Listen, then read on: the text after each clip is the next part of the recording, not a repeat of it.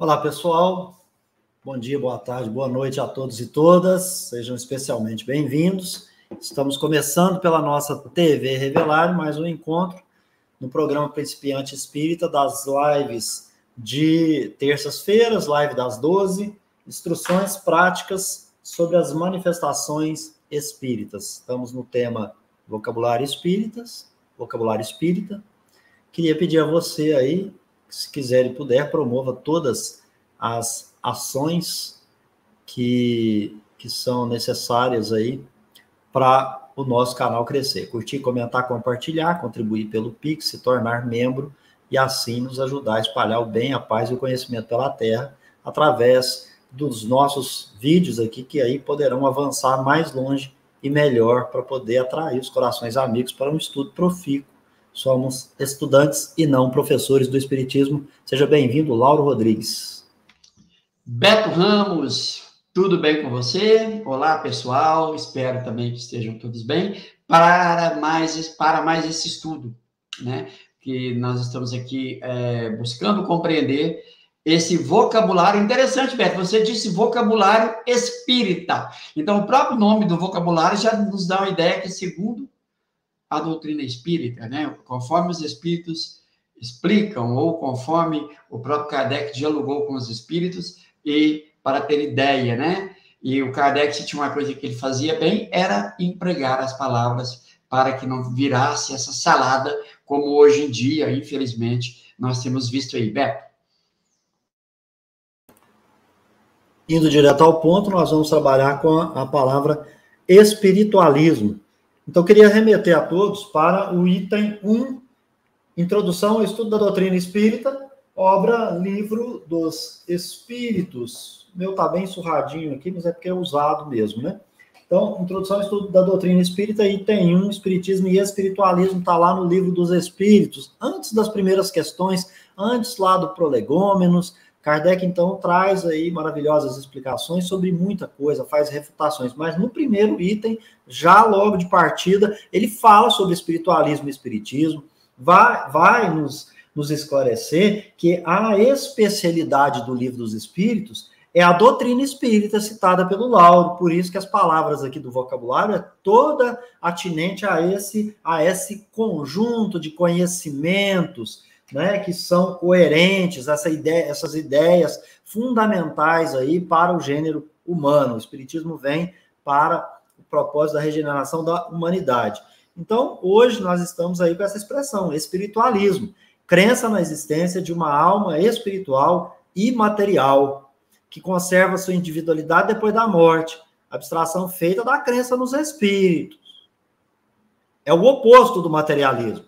Então é preciso entender o conceito de materialismo para os espíritas, para o espiritismo, e também o próprio conceito de espiritismo para os espiritistas, né? Eu disse espíritas, mas a gente já precisa usar Kardec. Espiritistas. Todo espiritista é necessariamente espiritualista, mas pode-se ser espiritualista sem ser espiritista. O materialista não é uma coisa nem outra. Como são duas ideias essencialmente diferentes, era necessário distingui-las por palavras diferentes, a fim de evitar qualquer equívoco. Mesmo para aqueles que consideram o Espiritismo como uma ideia quimérica, faz-se ainda importante, mistério, designar essa ideia por uma, por uma palavra especial. Essa medida é imprescindível, tanto no que diz respeito às ideias falsas quanto às verdadeiras, a fim de nos entendermos. Os vocábulos, os vocábulos espiritismo e espírita não são empregados nos países de fala inglesa, só para dar um dado, viu, gente? Nos fins do século passado foram muito correntes as expressões novo espiritualismo, moderno espiritualismo, ou seja, new espiritualismo, moderno espiritualismo. Hoje, entretanto, empregam-se apenas espiritualismo e espiritismo, espiritualista, Embora é, aqui eu, eu é, não sei se a, a, expressão seria espiritualismo no final ou espiritualismo, né? Depois tem que olhar isso, eu vou trazer a, em seguida aqui para a gente fazer é, a menção adequada, né? Faz sentido fazer isso. Embora o arrazoado de Kardec seja relativamente a língua inglesa, tão oportuno, pleno de bom senso, a propriedade e propriedade quanto para o francês e o português. Então, veja, nós estamos aqui tratando de conhecimentos que são interessantes para nós, aqui, é, os, os falantes de língua portuguesa, e para os originários lá de língua francesa, tá certo? Então, é nesse sentido aí. Voltando aqui, então, e, e, e para passar para o Lauro, né, fazendo aí por, por, por tópicos, né? Crença na existência de uma alma espiritual e material que conserva sua individualidade depois da morte. Abstração feita aos, nos espíritos. É o oposto do materialismo. Então, aqui, Laurinho, a gente lembrando os ensinamentos compartilhados pela nossa querida Juliana aqui no canal, falando sobre espiritismo e espiritualismo, ela comentava é, que o espiritualismo cria, cria, né? Tinha crença na existência de uma alma espiritual, mas que ela não sabia explicar, e ela falava que era imaterial, que conserva a individualidade depois da morte. Porém, Laurinho, o Espiritismo vem explicar que não é imaterial, imaterial não é o nome, e que é incorpóreo, né? Porque é, imaterial é, seria o nada, e o nada não existe, a gente até já estudou isso em outros encontros. Passo para você essa parte, depois a gente vai pesquisando o restante aí. Sim, Beto, e, e, você tocou no ponto no qual eu ia, eu ia entrar, porque né, a espiritualista crê, crer na existência, na, na existência de uma alma imaterial, e você lembrou bem. O Espiritismo vem dizer assim: olha, imaterial não é o nome, é incorpóreo. Por que incorpóreo? Porque a natureza íntima da alma não nos é possível conhecer ainda. Quando os espíritos é, não, não, nos dizem, aqueles que têm condições, é porque nós não temos condições de entender, nos falta compreensão, palavras. E há aqueles outros que realmente desconhecem a natureza, por ignorância de conhecimento mesmo. Então, aqui, agora, o que é o espiritismo?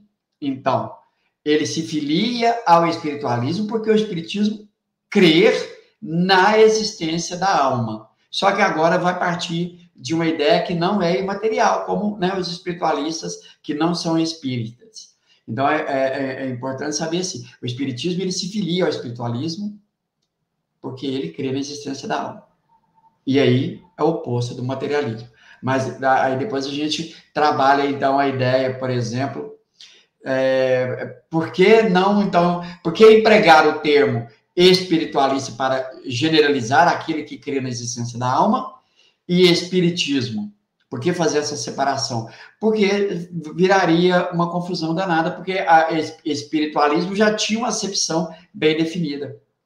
E se espiritismo adota esse mesmo nome, viraria é, e você ia pegar o efeito pela causa. Você nunca ia saber o que é espiritualismo ou o que seria o espiritismo, porque estava tudo na mesma razão.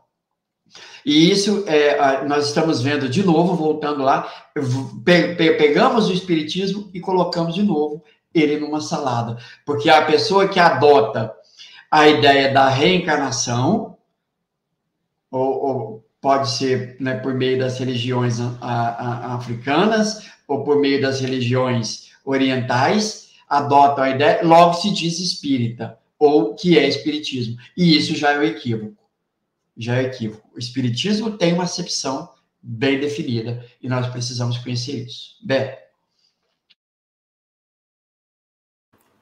Muito bom, Laurim. É, eu coloquei aí para nós, né, que espiritualismo é um conceito diferente de espiritismo, e espiritualismo trata-se da doutrina cujo espiritismo é uma de suas fases. Então, eu citei lá a introdução do estudo da doutrina espírita no livro, no livro dos Espíritos.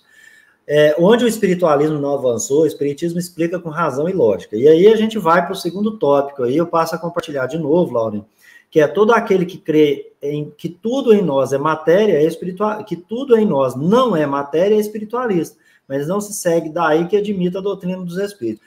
E aqui é interessante mencionar, Lauren, porque é o seguinte, é, quando a gente está falando disso, né, é, pode ficar algo é, meio que incompreensível aqui. Então, vamos tentar trazer, que já foi trabalhado no canal aqui com autoridade pela Marisa e a Juliana. O que, que a Juliana colocou naquele estudo, Laurinho? É, que foi da segunda sexta-feira do mês de fevereiro. Então, o que, que ela colocava ali para nós? Ela falou assim: olha, o espiritualismo estava é, falando sobre alma, falando sobre a alma encarnada. Só que eles diziam assim: quem é o autor, a causa dos movimentos do organismo humano, do corpo humano, é essa alma, não é o corpo. E traziam todas as explicações: o corpo morre, etc. Tinha os estudos, o espiritualismo racional, toda aquela filosofia, tudo especulativo teórico.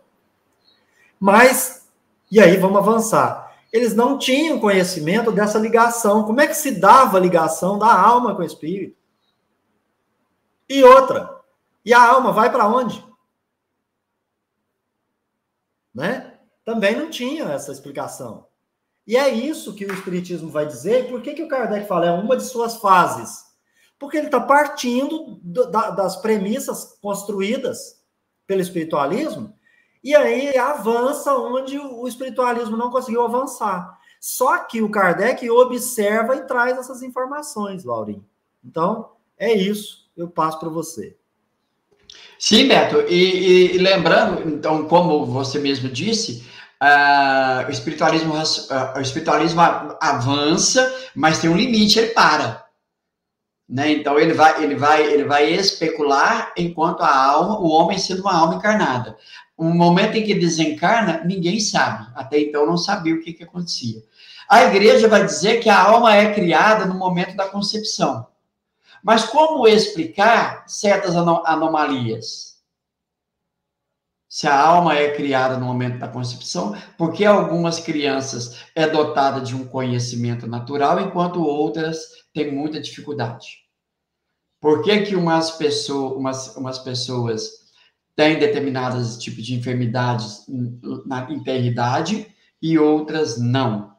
Só, então, tudo isso esbarrava. O espiritualismo racional, ele, ele não avançava nessas ideias dogmáticas, mas tudo parava aí. O espiritismo vem dar uma, uma explicação né, acerca do que é a alma após a morte do corpo e essas anomalias aparentes, o Espiritismo vem explicar tudo. Beto. E que a alma não é criada no momento da concepção. Porque se nós formos na definição da doutrina espírita, né, então o Espiritismo vem explicar de onde vem, por que está aqui e para onde vai o espírito após a morte.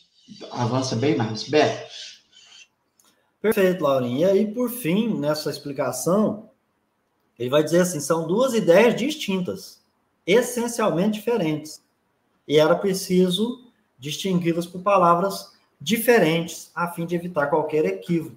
Para quem considera o Espiritismo como, como uma quimera, ele fala assim: mesmo assim é preciso entender né, é, o que, é uma ideia falsa e o que, é uma ideia verdadeira. Então vamos lá, Lauren, para o Espiritismo e Espiritualismo, no item 1 da introdução ao estudo da doutrina espírita né?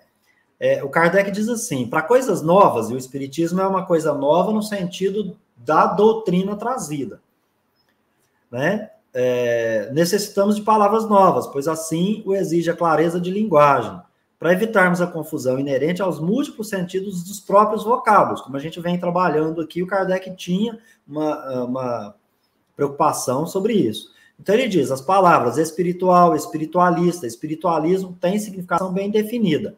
Então ele procurou não lhe dar outras. A doutrina dos espíritos se apropriou dessas significações para poder é, trazer as coisas novas. Então ele não quis multiplicar as causas numerosas de anfibologia, que seria ambiguidade de sentido que resulta da má construção gramatical, até do emprego de palavras que têm vários sentidos. Como, por exemplo, religião é muito mal aplicado, porque ela tem vários sentidos. Direito é uma palavra mal aplicada, porque tem vários sentidos. Alma é uma palavra mal aplicada, porque tem vários sentidos. Aí todo mundo que se apropria de um sentido quer utilizar isso para tudo e qualquer coisa, né?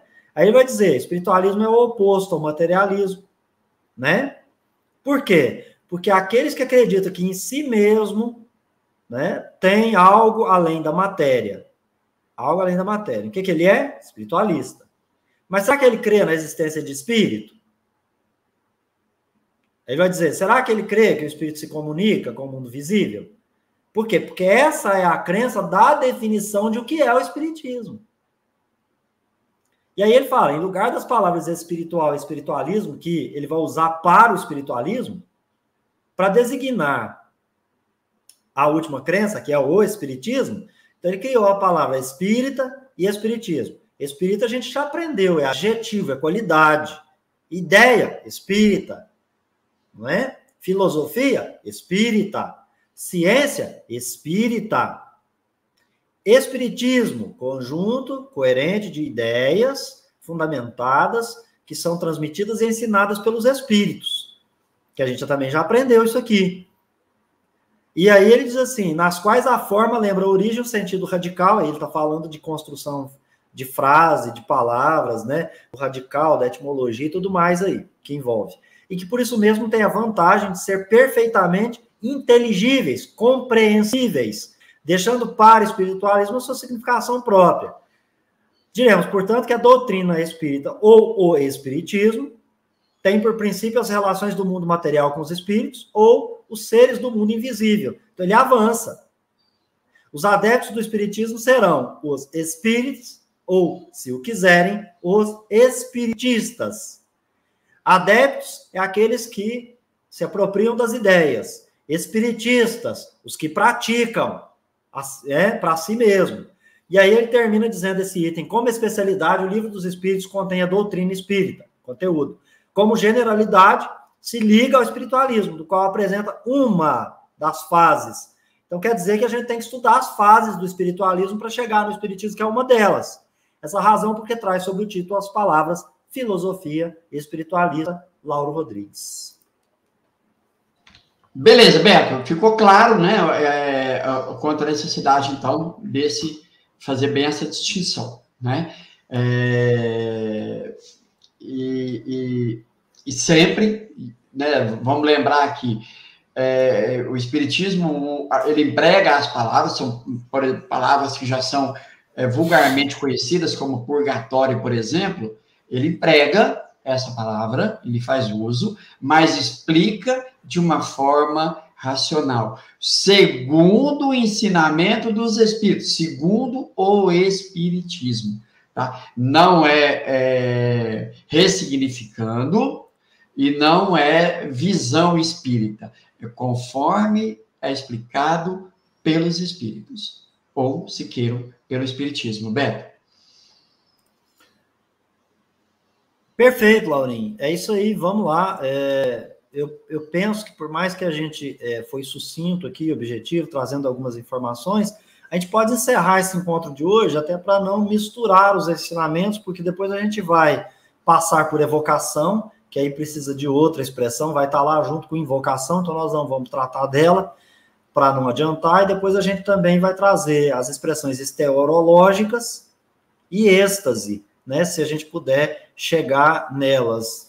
É, e algumas outras, né, porque o, o, o Kardec é interessante, né, ele traz expressão é, fada, feiticeiros, fluídico, traz bastante informação e a gente precisa então se apropriar delas com calma, com tranquilidade. Eu vou ficando aqui, deixando Laura aí para encerrar esse encontro de hoje, que foi bem rapidinho, mas eu acho e espero que as pessoas possam aí estudar um pouco mais sobre espiritualismo e espiritismo. Queria é, indicar aqui os, os vídeos que estão sendo trazidos aqui ao nosso canal pela generosidade da Juliana Ramos Hilbert, toda segunda sexta-feira de cada mês, às 18 horas, no Prosa Espírita. Marca aí na sua agenda e participe com a gente. Eu fico por aqui, encontro o Lauro e vocês no próximo vídeo. Até lá.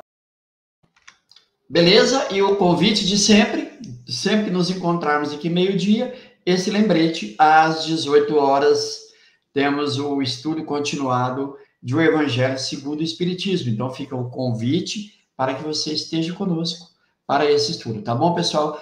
Sentimento de gratidão a todos. Nos vemos então às 18 horas. Um abraço.